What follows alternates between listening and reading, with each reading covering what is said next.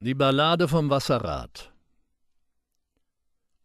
Von den Großen dieser Erde melden uns die Heldenlieder.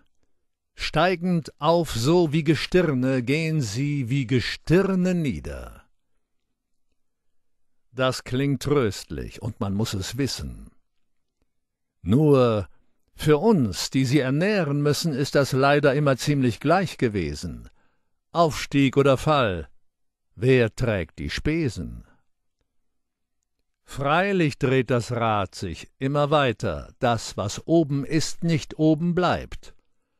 Aber für das Wasser unten heißt das leider nur, dass es das Rad halt ewig treibt.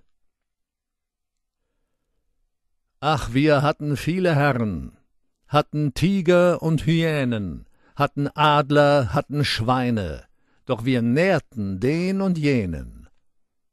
Ob sie besser waren oder schlimmer, ach, der Stiefel glich dem Stiefel immer, und uns trat er, ihr versteht. Ich meine, dass wir keine andern Herren brauchen, sondern keine. Freilich dreht das Rad sich immer weiter, das, was oben ist, nicht oben bleibt aber für das Wasser unten heißt das leider nur, dass es das Rad halt ewig treibt.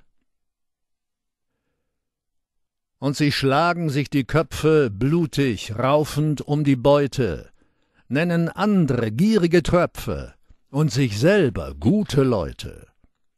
Unaufhörlich sehen wir sie einander grollen und bekämpfen einzig und alleinig, wenn wir sie nicht mehr ernähren wollen, sind sie sich auf einmal völlig einig.